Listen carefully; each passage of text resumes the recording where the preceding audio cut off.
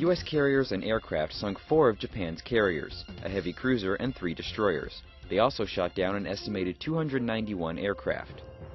The United States lost USS Yorktown, USS Hammann, and 145 aircraft before the battle was over.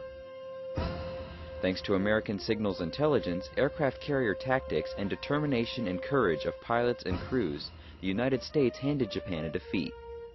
The victory of the Battle of Midway was the turning point of the war in the Pacific and the power of seaborne aircraft. Midway highlighted the heroes of the U.S. military and set the stage for the carrier-based Navy of today.